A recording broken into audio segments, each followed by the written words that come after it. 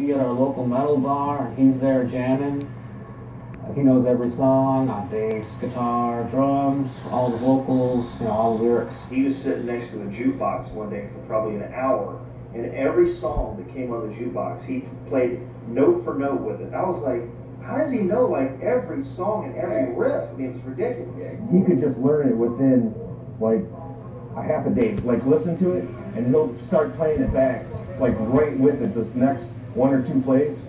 I mean, the guy is amazing. He has the best ear in the band for learning other people's music, especially. The guy's got such a great memory that he just he'll remember all these old Tyronson riffs and Leviathan riffs, and you know, and he remember them like you know he just learned them yesterday.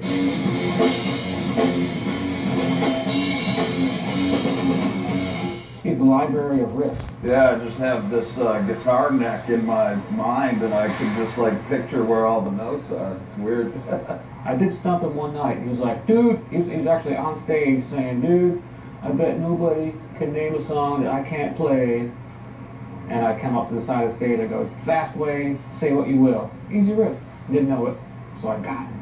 Hey, forget about it. Forget about it. And Rob Barrett is probably one of the funniest people I've ever met in my life. He should be like a stand-up comic or uh, you know an impersonator. He can mimic anybody. If somebody's got a funny way of talking, he'll he can do it perfect. Rob is the Rich Little of death metal. Oh, this guy's the, the best of the best as far as doing impressions of people. He used to call people and pretend he was a DJ on the radio and imitate DJs that you've won a contest, and the people fell for it. I'm really good. I'm a mimic from hell.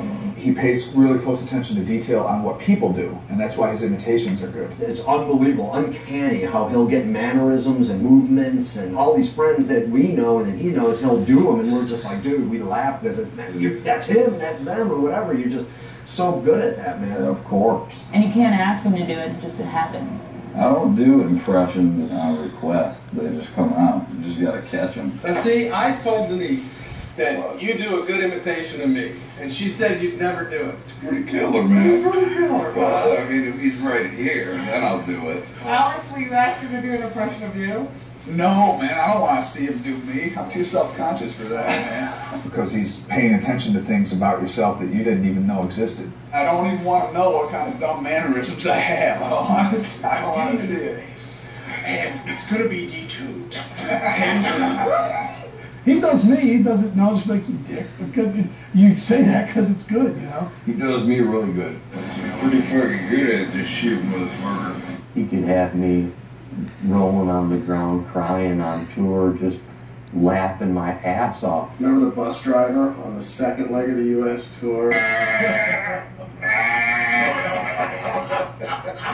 Fuck up, man, but I mean, we got Oh, shot!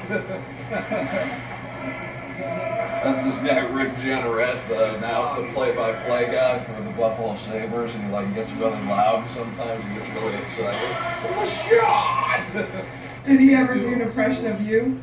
Oh my God! patronize me. Rob is the creeper. Creeper. The creeper. The creeper. Creeper. Creeper. I'm creepy. He